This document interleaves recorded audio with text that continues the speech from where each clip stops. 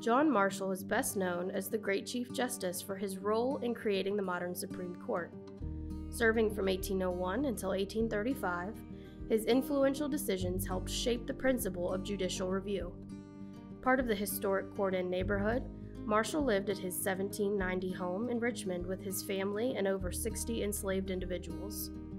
With more than half of the house's furnishings original to the family, guided tours of the John Marshall House explore the creation of American government through the lens of the federal judiciary, as well as ways Marshall's life in early Republic Richmond influenced him on the Supreme Court.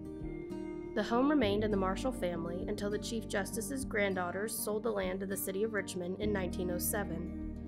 In 1911, the house was placed in the care of Preservation Virginia to be restored and opened to the public. This site is one of six locations owned and open to the public by Preservation Virginia.